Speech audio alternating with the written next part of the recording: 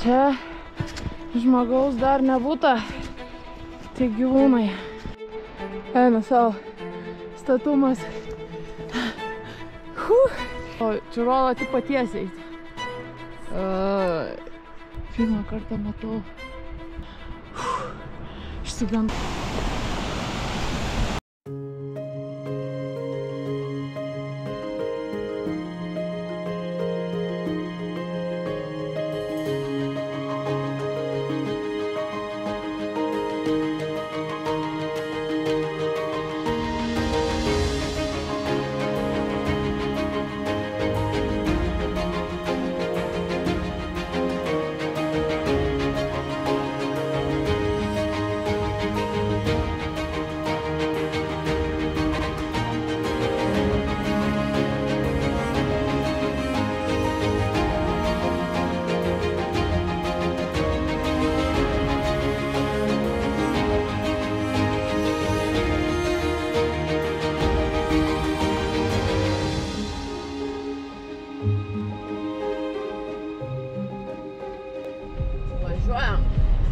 Atvažiavau į parkingą, matomumas neblogas šiandien. Tai pasijungiau maršrutą. Man maždaug va tenai reikės. Noriu pasiekti tenai viršų. Ten yra uola. Tai bandysiu šiandien ten užkopti. Šiaip maršrutas sudėtingas. Tai va, jau trečias kartas, šį kartą jau a, su kitais batais, šį yra snowboardo batai. A, sniegbačius taip pat turiu, bet kol kas neimsiu, bet lasdas paimsiu, nes praeitą kartą buvau a, protestuoti ši- šių batų, tai žymiai geriau nei mano ten tie. Pirmą kartą, kai a, jau pasivaikščioti į kalnus, tai buvau visiškai netinkamai apsirengus buvo per daug sniego, nes kaip tik buvo papugos viskas, tai praktiškai buvo labai daug kelių uždaryta ir tikrai ten tik su sniegbačiais praktiškai galėjai. O, ir tai, ir tai nė, nė, nėra lengva. Tada čia visai ne per seniausiai prieš keletą dienų atgal irgi testavau, bet jau šitus batus, tai viskas gerai. O, bet jeigu aukštai ant kalno, tai be sniegbačių tikriausiai nelabai praktiškai ta įranga va yra pas mane jau. Aišku, dar reikia nusipirkti gal dar daugiau visokiausių dalykų, bet po truputį einu, žygiuoju, testuoju viską, tikrinu savo taip pat rūbus, nes dabar, pavyzdžiui, yra termokelnes. Šitos kelnes, čia irgi trys termo postriukė. Šiaip nėra šalta. O, šiaip čia šviesų jau būna labai anksti, gal kokią pusę aštuonių, tai jau čia praktiškai švinta ir šviesų jau aštuntą būna. Aišku, jau tamsu ten kokią ketvirtą, pusę penkių jau tikrai viskas jau tiek turi dienos praktiškai. Tai jeigu žygiuot taip į kalnus, tai reikia visada labai anksti startuoti. Dabar aš startavau vėlai 11 valanda, bet dėl to, kad čia rodo tik 2 valandas, tai reiškia 3 valandas, bet turėčiau spėti. Gyvenu ten, kur daug kalnų aplinkui vėl kalnai. Aišku, tie maršrutai yra tokie, kad kai daug sniego pusė jų yra uh, užblokuoti, tu nelabai ten praeisi, kai kurie tikrai pavojingi. Tai, tai va, tai reikia daugiau testų, kad galėčiau imtis aukštesnių viršūnių ir panašiai. Dabar čia tai, kadangi dar apačia žemai parkas, tai pravalyta. Dažniausiai būna va kaip čia. Nu, va, su lyguminėm jau slidinėja irgi traselė.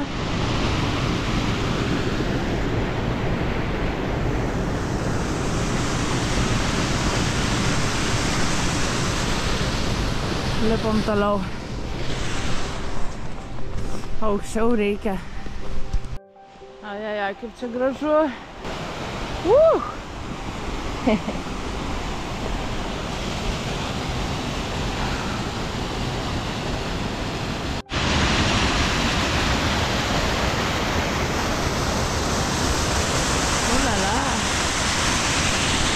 Urvas kažkur ten viršui turi būti pasislėpęs tarp tų uolų. Ir jisai yra 3 km ilgio. Ir ten gyvena šikšnosparniai.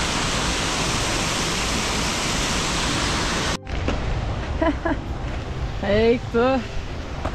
Kodėl kai kur ledas? Nu, gerai, čia patirta biški. Einam. Varvekliai kokie. Ten galima eiti. Einam pasižiūrėsim, kas čia matosi. Varvekliai, o tenai kokie. What? What? Eik savo. Čia pavojinga. Gali kristi nuo viršaus. Tirpsta. Virš manęs nėra. Bet galim.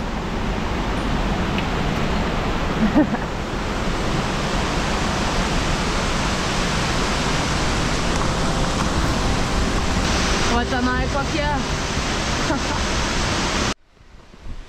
Pakilau jau neblogai.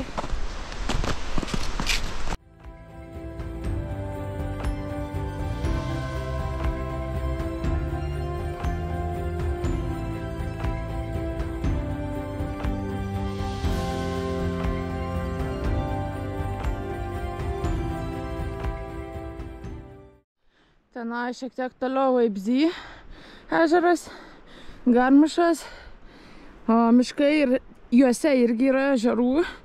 Ten Cukšpice, nelabai matas dabar viršūnės, Alšpice ir kiti va kalnai. Tai matosi va iš čia labai gražiai. Šiek tiek, tikiuosi ir jų matos. Ten žmonės slidinėja, kur sniego yra balta ta zona. Ten Cukšpicės slidinėjimo kurortas. Šiek tiek po kairę, va irgi matosi atskiras toksai slidinėjimo kurortas. Čia Farkant miestelis. Jau netoli. Tos uolos. Įdomu, pamatysim šikšnosparnius. Ar ne?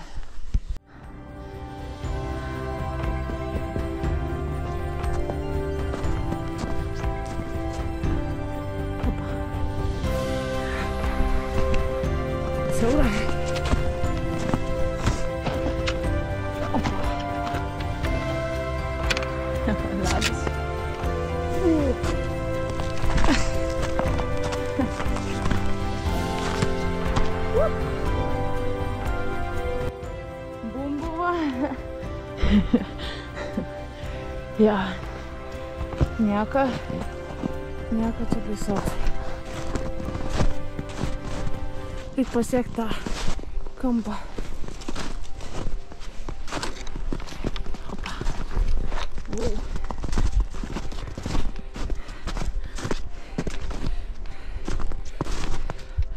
Nu, tai ką? Opa, opa, opa.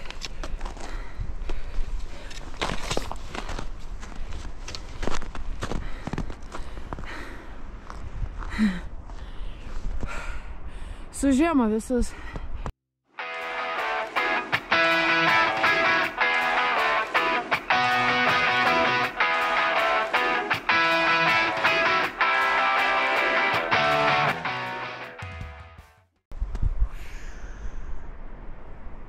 Pažiūrėkit, kas tam per gyvūnas.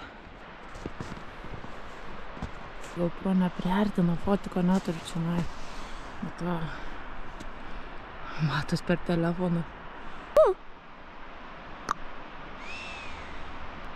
Man atrodo, jinai čia viena.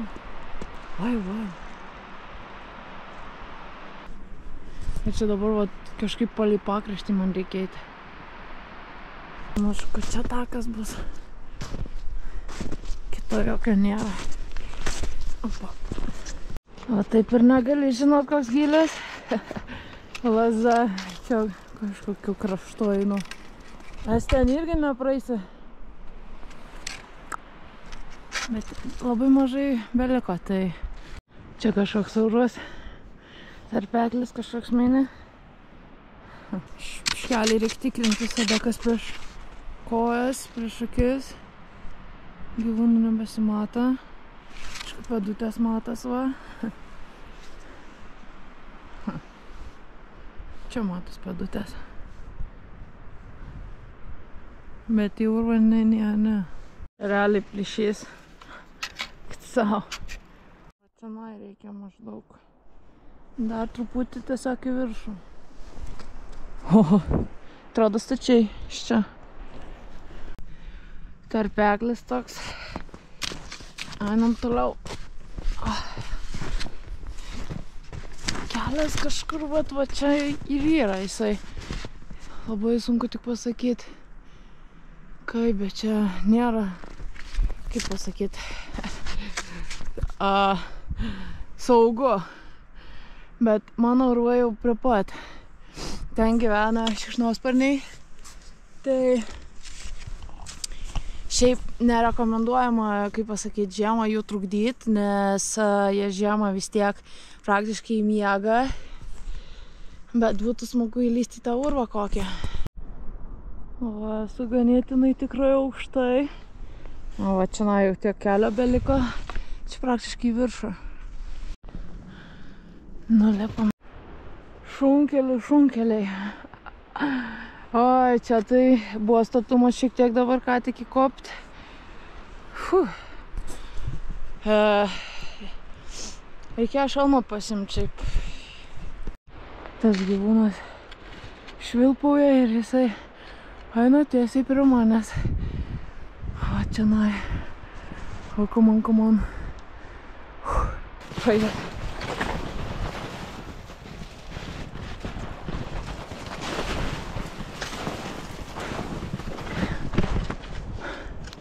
Jisai čia eis.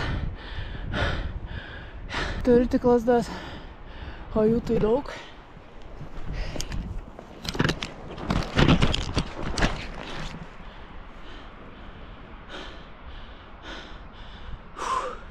Išsigandau truputį. Dėl švilpuoja.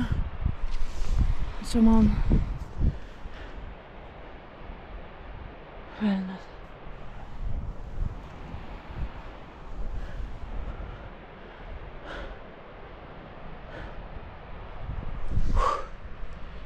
Dreba kojos.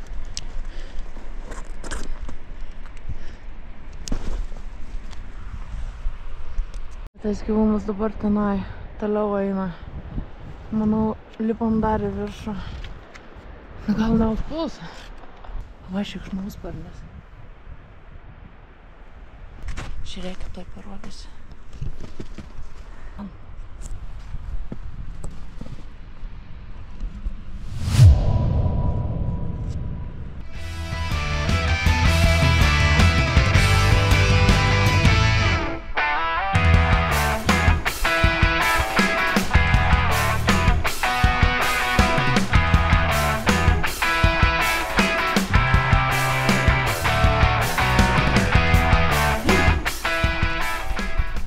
Tos viršūnės ir suksimės. Opa. Ir trapelę. Einam iki jos. Ir ten tiesiai toliau viršų. Tai jau ten tiesiai, tai į viršų nebėra laiko.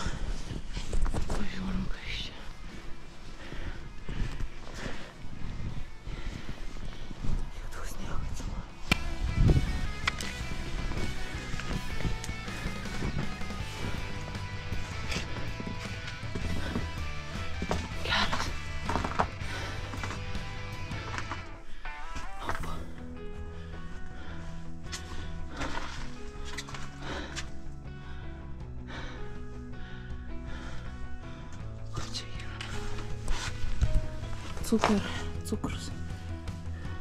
Čia. Koks yra? Veidrodis.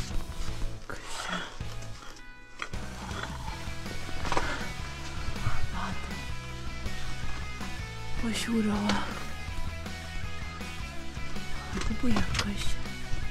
čia?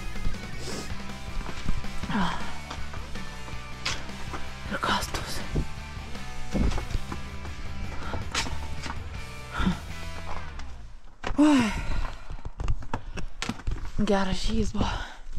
O tai va. Uolas, uolas, uolas. Pasislepia kalnai. O tik dažnai būna dėl matomumo.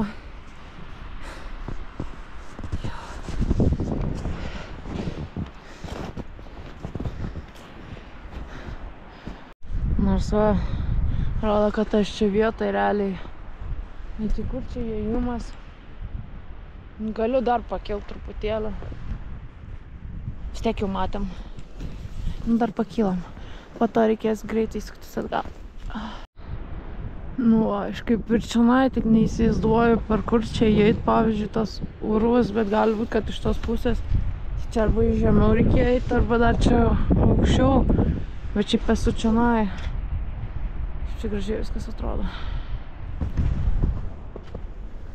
Tenai. Tik kad matomumas prastesnis. Na, nežinau, nesuprantu.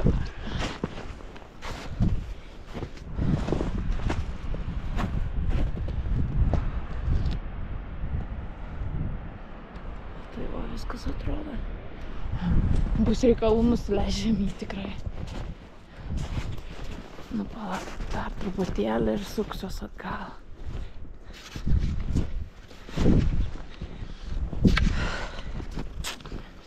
Nemažai čia sniego jau varžai.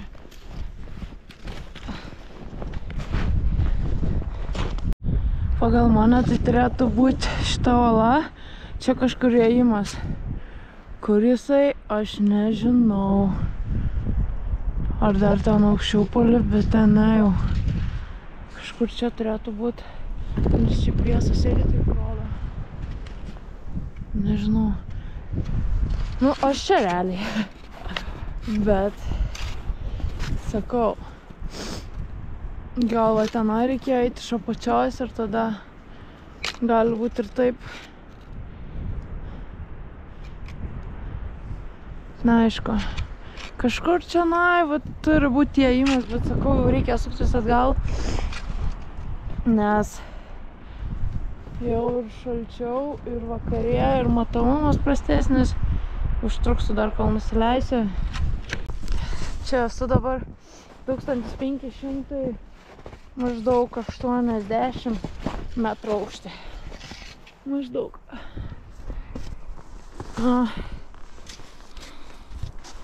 Lipam žemyn. Pamačiau daug, užlipau nemažai, gerą treniruotę.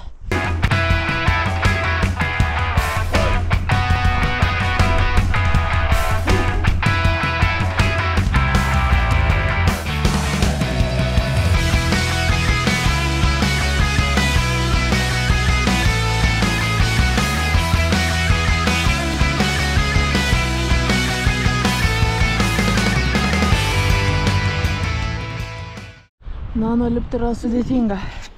Tikrai. Atrodo, kad nėra kur kojos statyti kažkaip. Gerai, lipam toliau. Kitą kartą pasimsiu gal kitą laikiklį, nes tikrai nepatogu su ranka šiandien filmuoti. A, rūbai gerai, lasdas gerai, sniegbačio ne. Bet vat su GoPro šį kartą sudėtingiau viską pafilmuoti. Tai va dar irgi geras testas tam. Gal ir gerai, kad nesubdrumščiau ramybės jų visų, o tik vieną. Nerekomenduojama per žiemą dėl jų pačių gyvybės, kaip sakant. Pam, param. Ne, paspėsiu, kol dar šviesa.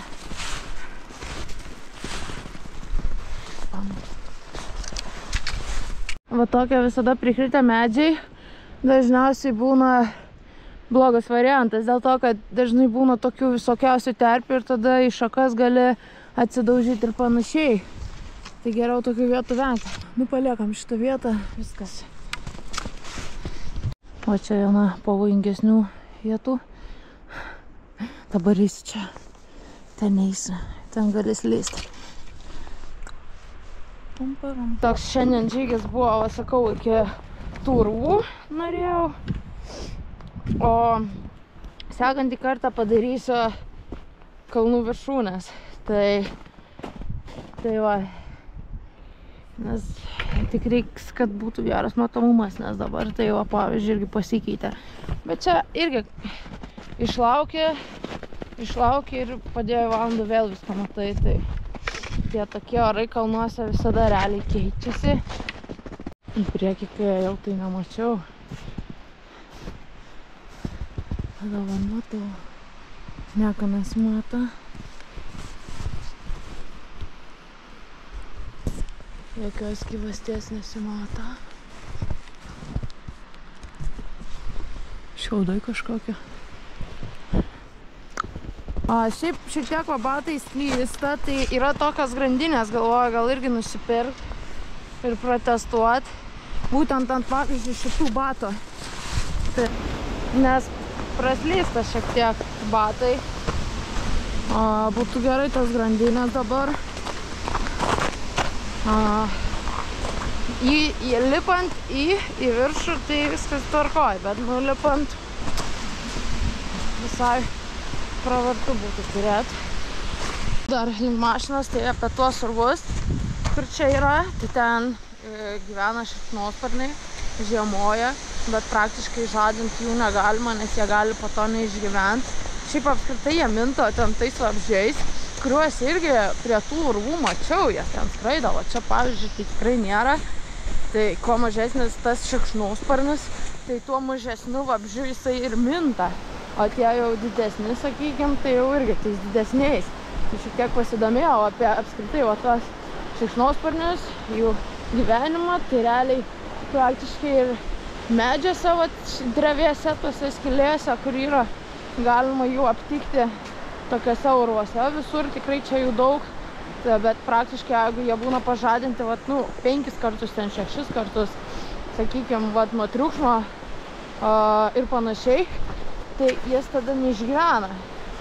O, pala, tai va sakau, a, tai to, tos buveinės tie urvai, a, ten daug drėgmės, jiems tam patinka ir panašiai, bet jeigu tu jį ši, tą šikšnosparnį nu, sukeli triukšmą, ten kalbi, įėjęs į tą urvą, tu jį pažadini, tai tu jį išbūdini ir jis praranda, žodžiu, daug energijos, tada vienas, antras, trečias kartas, viskas po to jie nebeišgyvena, neapsulaukia to pavasario ir viskas.